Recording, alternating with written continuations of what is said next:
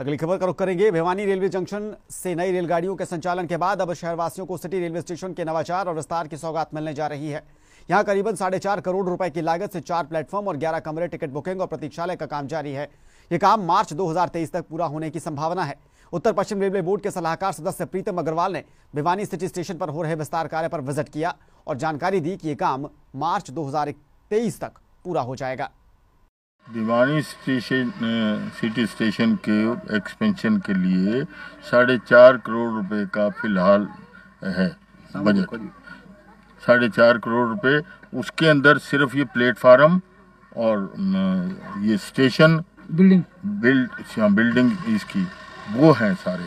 बाकी जो काम है लाइन के और उसके वो अलग हैं उसका बजट तो ये काम मार्च 2023 तक बनने की संभावना है। और इसी खबर के साथ, इन्हीं तस्वीरों के साथ, इस बुलेटिन में अभी के लिए इतना ही। देश दुनिया के तमाम अपडेट के लिए आप बने रहिए पीटीसी न्यूज़ के साथ। नमस्कार।